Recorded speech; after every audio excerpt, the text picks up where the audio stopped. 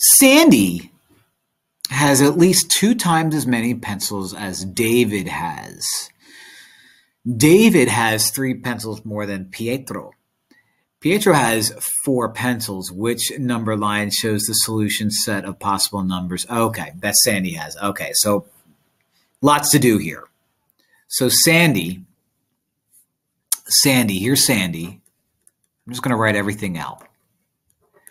Sandy, and we'll use S, I guess, I don't know, uh, has at least two times many pencils as David. So Sandy is greater than or equal to two times David.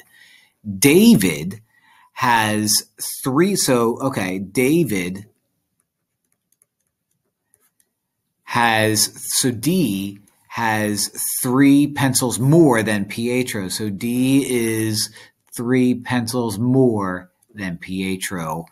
Which number line shows the solution set for the possible numbers of pencils that Sandy has? Uh, okay. Well, Sandy is two times greater than two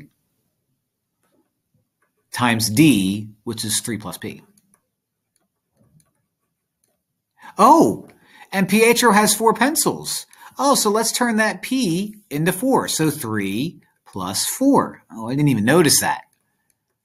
There we go. That makes life a lot easier. So Sandy is two times David, and David is three plus Pietro, and Pietro is four. So three plus four is seven, and two times seven is greater than or equal to 14. So I need the one that's greater than or equal to 14, which is you. Yeah, I like it. These two don't make sense, and here's why. None of these make sense, and here's why. You are basically saying Sandy has negative pencils. Not possible.